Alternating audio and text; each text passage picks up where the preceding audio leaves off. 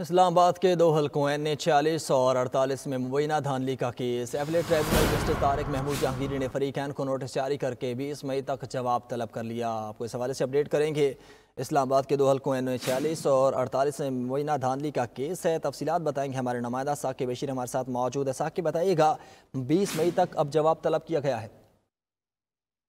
जी इस्लामाबाद के जो हल्के हैं उनके हवाले से ट्रिब्यूनल जस्टिस तारिक महमूद जहांगीरी ने आज इस्लामाबाद हाई कोर्ट में समात की है और अदालत ने जो इसमें जो फ्रीकैन हैं, उनको नोटिस जारी हैं।